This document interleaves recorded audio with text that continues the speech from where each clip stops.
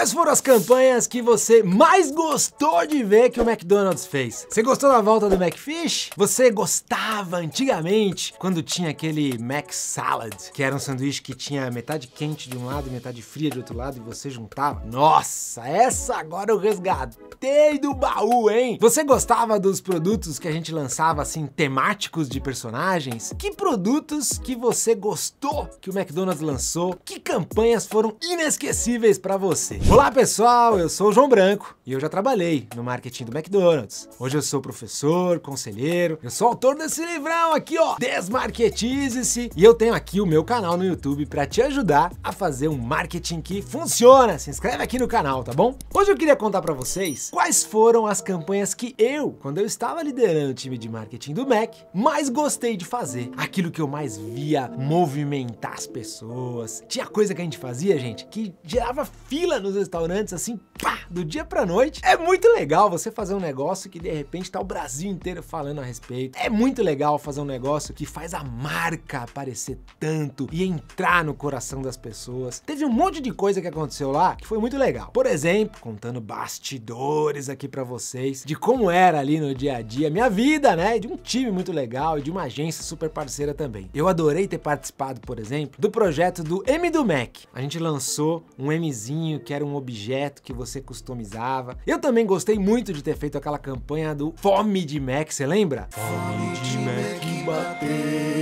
Era uma, uma campanha sensacional, uma ideia muito criativa que a galera da agência trouxe, deu nome àquela vontade vontade que a gente tem de comer McDonald's. E as Maczices? Você lembra? Não é bizarrice, não é maluquice, é Maczice. Teve Tiaguinho, teve Larissa Manuela, teve o Canuto, teve Maczice do Tadeu Schmidt, teve Maczice da Ludmilla, da Luísa Sonza, de um monte de gente bacana falando como que eles comem McDonald's. Eu coloco batatinha dentro do lanche, eu primeiro passo a batatinha no sorvete, cada um faz uma coisa e cada um tem a sua Maczice. Essa foi uma campanha muito legal também. Eu não me esqueço também também do dia que a gente lançou o Super Mario pela primeira vez no McLanche Feliz. Nossa, tinha um monte de gente assim falando disso, que legal, um personagem diferente e fazendo as suas coleções. E isso é sempre impressionante para quem trabalha no marketing assistir acontecendo. Mas se eu fosse listar para vocês as cinco campanhas que eu mais gostei de ter feito lá no Mac, eu diria o seguinte: quinto lugar, Festival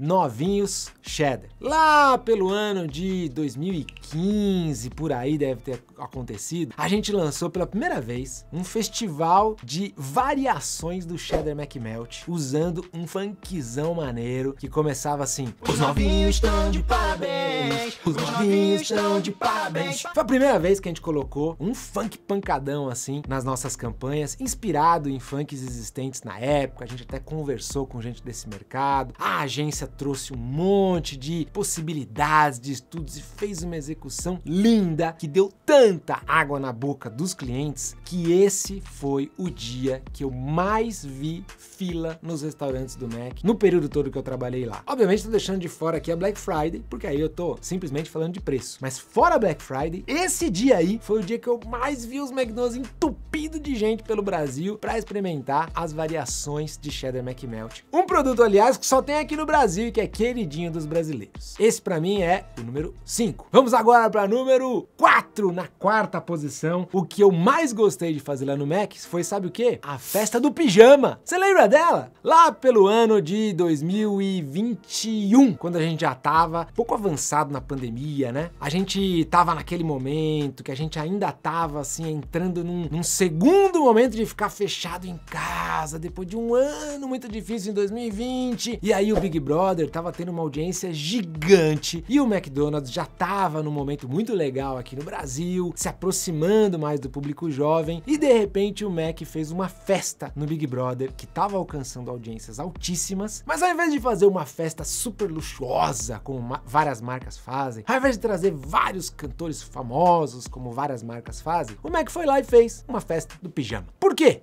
Porque o cliente naquele momento estava passando exatamente isso. A gente estava todo mundo em casa, de pijamão, comendo delivery o tempo todo, assistindo Big Brother e esperando aquela pandemia passar porque a gente não aguentava mais. De repente vem uma marca e fala assim: olha, eu entendo o que você está passando. Nós vamos colocar aqui todo mundo de pijama do McDonald's pra curtir essa festa. E você aí de casa pode curtir igualzinho. E foi nesse momento que o McDonald's começou a vender pijamas aqui no Brasil. Começou a fazer isso pelo delivery, que era o que funcionava na época. E naquele dia, os sistemas de delivery que vendem McDonald's tiveram muito trabalho. O iFood, ó suou os sistemas do Mac, os outros parceiros. Foi um dia assim de recordes de vendas, porque foi uma festa que engajou muito, que virou assunto. Talvez tenha sido um dos merchants mais legais da história do Big Brother. A ponto de nos anos seguintes, os participantes chegaram no Big Brother e falar: será que vai ter festa do McDonald's? Será que vai ser daquele jeito? Como que vai ser? Então, esse daí é um outro projeto que eu fiquei muito feliz de ter participado e é o meu top 4. Vamos agora pro meu top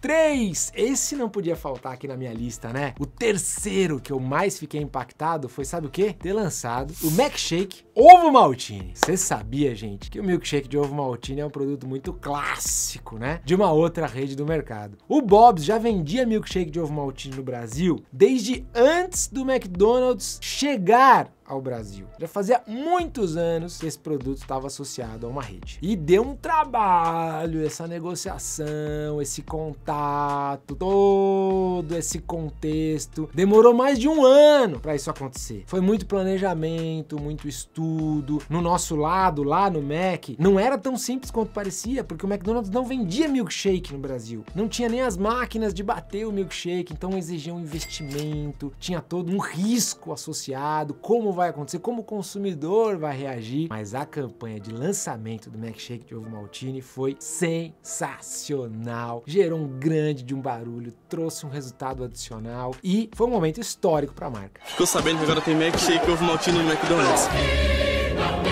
Sabe o que eu me lembro? Que na revista Veja São Paulo, sabe a Vejinha? Aqui em São Paulo, né, tem semanalmente a edição da Veja São Paulo e eles trouxeram naquele ano uma retrospectiva dos fatos que mais marcaram o Brasil. E na capa da Veja São Paulo tem coisas muito icônicas que aconteceram naquele ano, na política. Tem, por exemplo, a questão do lançamento do Uber e o conflito que gerou com os taxistas. Tem também a questão política, tem a questão das Olimpíadas, tava falando de coisas grandes. E tem dois milkshakes ali fazendo uma lutinha e tal, mostrando como se esse fosse um dos fatos mais relevantes do ano no Brasil. E puxa, eu fiquei muito é, feliz, né, de ter visto uma campanha de marketing gerar um barulho tão grande. Essa é a minha posição número 3. Vamos para o top 2. Pra surpresa geral de vocês, imagino, o meu top 2 não é o top 1, é o top 2. É a mudança de McDonald's para o apelido Mac. A marca não mudou, né, gente? Mas adotar o apelido Mac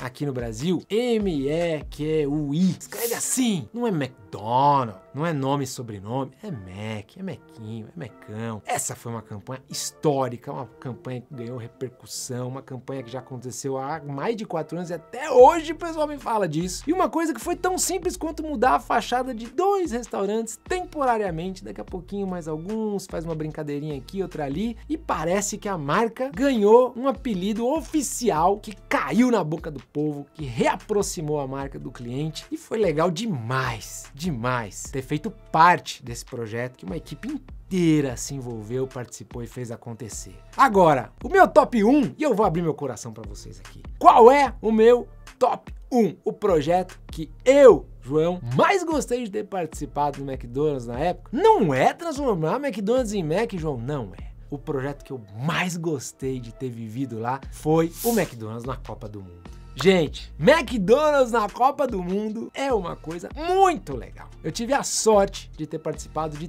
três Copas enquanto estava lá: Copa de 2014, Copa de 2018 e Copa de 2022. É muito legal lançar os sanduíches dos países, se envolver com a Copa, ter que planejar o que vai acontecer, se o Brasil ganhar, se o Brasil perder, se tal país avançar, se acontecer isso. Teve uma dessas Copas que a gente teve uma decisão de última hora de lançar o Mac Croácia no menu. Lembra que a Croácia acabou indo para a final da Copa do Mundo junto com a França lá em 2018? Meu Deus do céu, será que a gente consegue lançar do dia para noite e dar-lhe a galera inventar um sanduíche, trazer um ingrediente, fazer a embalagem, fazer a campanha e conversa o tempo todo com as pessoas? Isso coloca a marca num nível de relação com o torcedor que não tem igual. E isso dá uma satisfação para quem faz acontecer também muito grande. Então, esse com certeza foi o projeto que eu mais gostei de ter participado. Um páreo duro, porque tem várias coisas legais aí. E você, quais dessas campanhas mais chamou a sua atenção? Qual você mais gostou de ter visto? E o que, que você gostaria que viesse por aí? O Macfish já voltou. Vocês podem parar de me pedir isso. Eu não tô mais no Mac, mas eu tô aqui torcendo por essa galera que é muito, muito boa. Valeu, pessoal. Se você gostou, se inscreve aqui no canal e curte esse vídeo, manda pros seus amigos, tá bom? Até a próxima!